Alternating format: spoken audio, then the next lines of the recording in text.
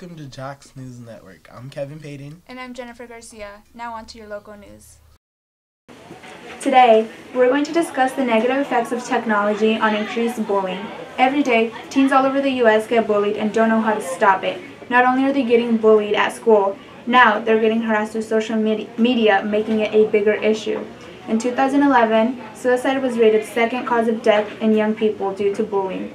Over 800,000 suicide deaths happened worldwide in 2012, and in June of 2014, about 9% of students ages 12 to 18 reported being bullied nationwide. Kevin, take it away.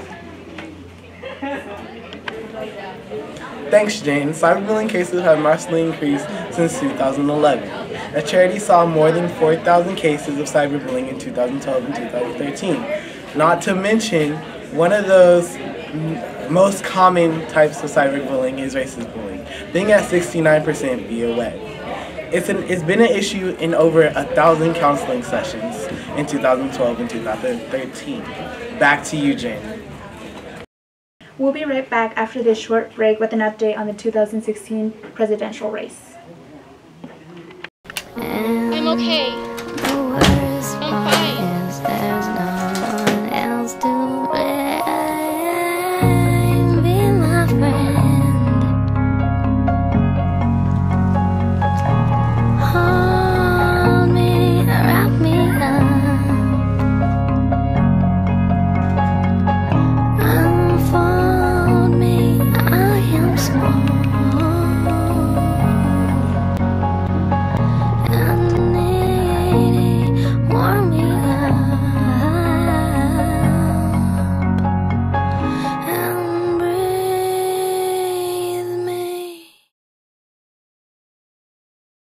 couch.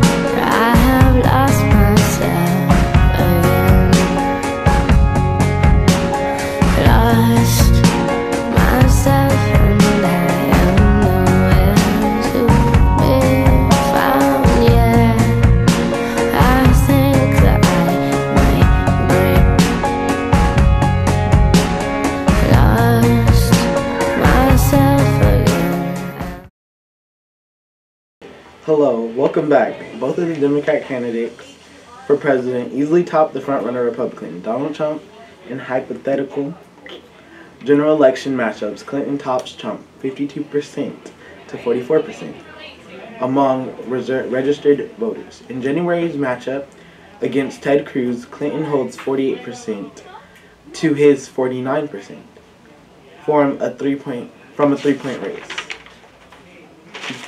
in January's one-point matchup. That is all for today, folks. We'll see you tomorrow on Jackson News Network. Have a good day.